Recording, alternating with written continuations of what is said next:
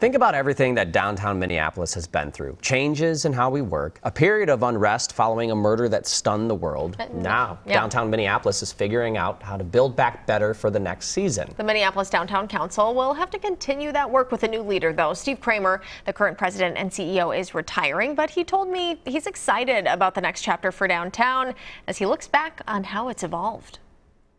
Steve Cramer has always had a thing for this city. You clearly care deeply about the city of Minneapolis. I do. The grandson of an Iowa politician, he says public service ran in the family, but there was always something special about Minneapolis. I think it came from being a young kid in Iowa who would have a family vacation in Minnesota every year, coming through Minneapolis, going to Twins games. Cramer, a longtime city council member, ran for mayor in the 90s, and then after a few other stops, eventually landed at the Minneapolis Downtown Council, the link and advocate between the business community and people who work and play in the city. Our job as a downtown community is to make sure that people who are coming in for those things are having a great experience and want to come back for other things. Downtown, of course, has changed during Steve's career. When I came here 45 years ago, downtown really was a regional shopping destination. We're not that anymore. The physical landscape altered by things like new stadiums.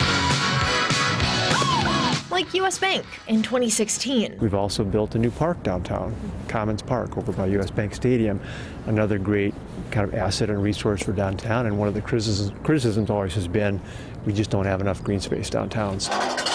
Most of the work, Redone Hennepin. major. We've also redone Nicollet. That was a big redone- project yep, that was for a big project, a lot of controversy. to pave a path to a more pleasant downtown. The public realm downtown is really important, and it's something that we've paid a lot of attention to. He says renovated spaces like Peavey Plaza aren't enough on their own. They have to be activated with events. We really excel at that kind of thing. Super Bowl, Final Four, Major League Baseball All Star Game. I mean, those were all outstanding events. It really has been professional sports, theater, music, our great restaurants that are the leading edge of kind of recovery of, of downtown. Recovery after a tough stretch of years filled with questions about safety. There is a reality, but the perception outstrips that reality, and so we have to have people come come back and really understand it for themselves. We invest millions of dollars provided by the business community in a wide range of safety programs, and we're a really good partner for law enforcement. We have a partnership with Hennepin County now where we literally have two social workers that are part of our outreach team. There have also been questions about viability with less workers in the office. Who does that hurt? We have less buying power coming into downtown.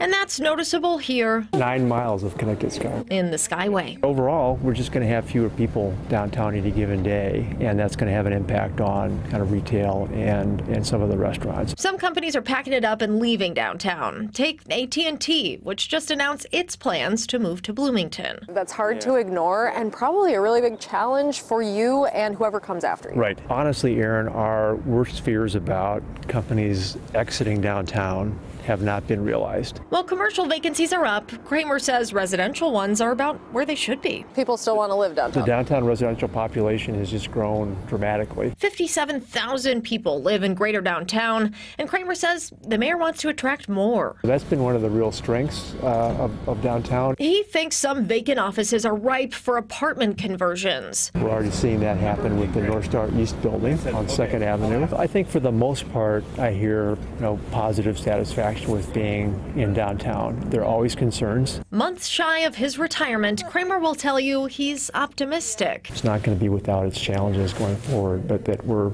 we're moving into a different phase of downtown. He sees vacancies as possibilities for new businesses. He'll tell you some companies are moving in and that fine dining spots are fully booked for dinner, and that building on those victories will pull downtown into its next season. I'm betting on downtown. So uh, Cramer is retiring in December. To be clear, he's not gone tomorrow, type of thing. There will be a search process to replace him, and timing is sort of TBD on that. Uh, He seems definitely dedicated and loyal to this part of Minneapolis and, and creating, building it back to what it used to be. I mean, it's, we've been through a tough stretch, like we said. Have Mike, you're a downtown resident. Yeah, it. I mean, it's been a hard time, but it's nowhere near as hard as many people think it is when it mm-hmm. comes to living and working down here. And I think that's a big problem. And I think they've addressed, or they at least realize that the downtown council does. But I'm sort of curious what other cities our size are doing because we're all sort of facing similar problems, 100%. right? And perhaps, perhaps bringing somebody in who has experience in those markets in the future could help. It's a good idea. Yeah, we have a lot going for us too. We didn't get into. Uh, we have five Fortune 500s. Steve says that are in our downtown. That's unusual for a city our size. So we have positives working for us as well.